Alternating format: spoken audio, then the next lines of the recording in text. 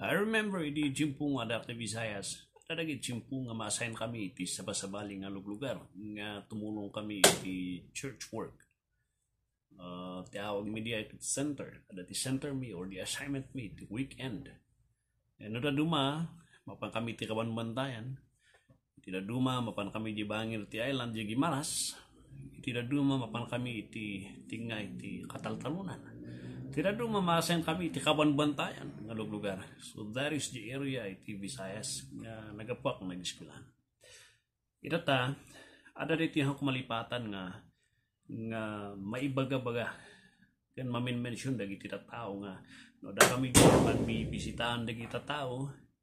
Kaya't ada iti statement ka kanang ibibatanda kung na dagiti tao nga dagiti Hangkong patsun dita Biblia yo umikat kayo dito yan mi. Hangko nga patsin de taga pusta suruan na ti tao no kasat no ti pumatay. Agasawa ka ti adu, agarami ka ti kamali. Tanong kumasao ti Diyos data. Awan ko marita nga, awan ko maragita nga banag nga nais, naisurat. Kita nyo kat ni David, nagado ti asawa na. Ni Solomon, kalkaro kay. Dagiti adi pantiapot ang nakasurat. Kat, nukit kita nyo kat uh, nagmamadi ada dagi record nga nagmamadi. So nga ako nga patsin iti Biblia nga sa ti Dios um legit DJ sa lutsod na. Kan ah dati dati dati uh, panangupos na dati nga dagiti nga tatawo di nga lugar. Tata kasat mo nga tangag pa isudyay kasat mo nga sumbatan tayo nga iti Bible kat nagado iti record dagiti nakabutbuteng nga pasamak anya ti may sumbat tayo diya apay sa uka di ti Diyos dito kat record mat dagi anak ti apo. Nagarami da iti kaistoryan nga kababayin law nunay ti tatao nga nalata iti libro ti Roma chapter 15 ada ti Roma chapter 15 verse 14 ay sorry chapter 15 verse 4 kuna na dito eh For whatever things were written in the earlier times, sa salitaan na itinapalpalabas ng the Old Testament records, were written na isurat na ito for our learning that we, through patience and comfort of the scriptures, might have hope. Dahil iti sumbat na diyay, no apay nga kuna tayo nga, no sa ti Diyos tayo apay nga nga nagadu iti record nga nagkaalas ka nagmamali na isurat niya ay kuna na Apostol Pablo tapno pag-adalan tayo. Pag-adalan tayo nga hanti nga ulitan iti kamalida gapusta no kitam tibiyag da.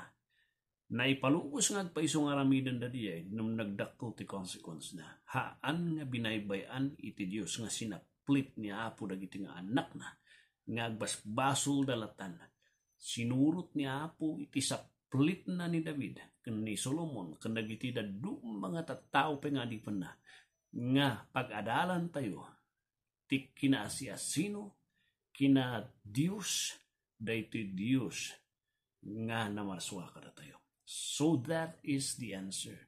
The answer is tapno pag-adalan tayo kan makita tayo nga iti Dios han nga ikan kanu nga baybay na lang ti baso. Surutan na nga hukuman iti baso.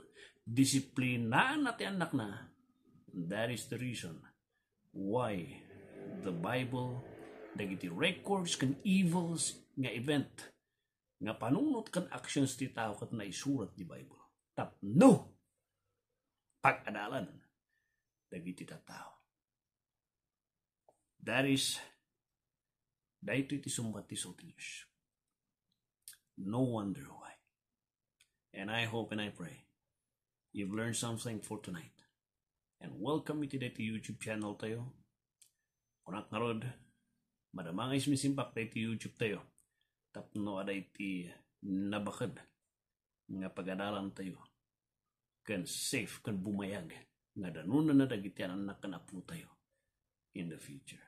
So, subscribe. Mag-subscribe kayo kakadwa, kakabsat. Anyong alipatan nga ag-subscribe dito YouTube tapno kan i-hit yun yung notification bell tapno no aday ti nga record tayo ag-notify di cellphones yo nga aday ti baro nga record nga adalan tayo manan. God bless you. And good night, kakapsat.